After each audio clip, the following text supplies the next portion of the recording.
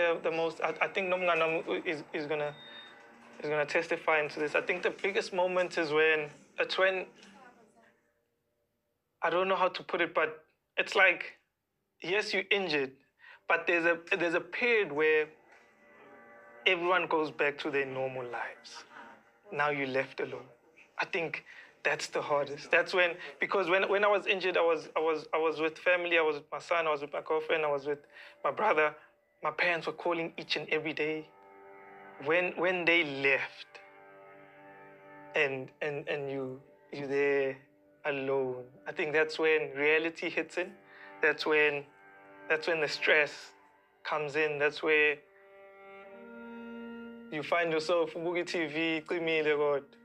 Uh, you Qimile TV, but you're watching, you know, and it's it's like you, you you're going crazy. It's like it's like you're losing yourself. It was the first time experiencing that.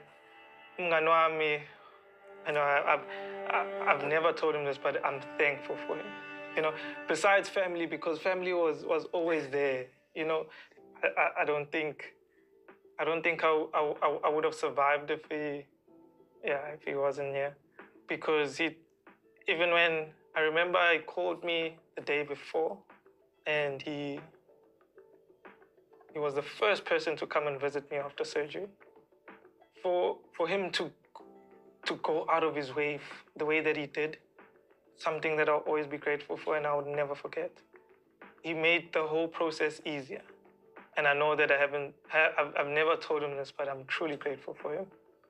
He really has been a person that I needed the most when I I did after my operation, I went home, stayed home for yeah a week.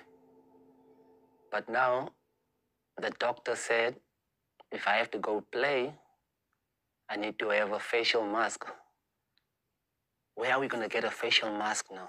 This time, because now the final is coming also.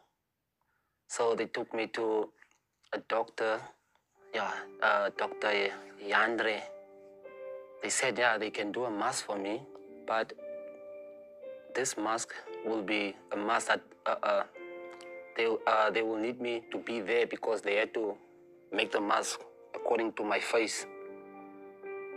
And it's gonna take like four or five days to prepare the mask. And now we are entering the week, almost now the week of the final of, the, uh, the Nedbank Cup final.